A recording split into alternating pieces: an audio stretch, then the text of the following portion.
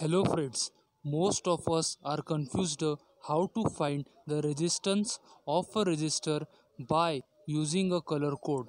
Today in this session I will going to see how to find the resist resistance of a resistor by a color sheet as well as many mobile applications are made for it. Let us see now. Now let us see how to find that app and which app actually determines the resistance of a resistor.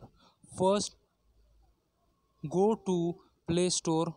In a play store just type unit converter app.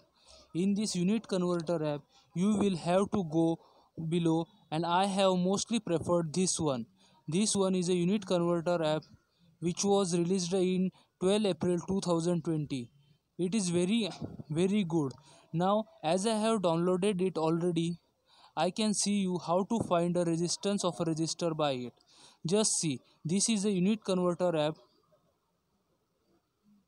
and here many of the options are given. On the second page there is a resistor codes option.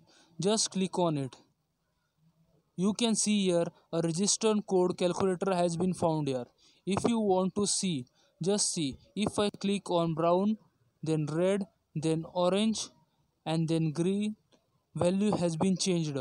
At the same time if I change the color code let I shift on green green then I shift on blue then I shift on red.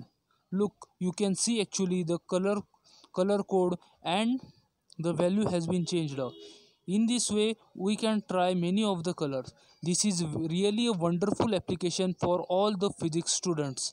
Thank you. You can use it very good.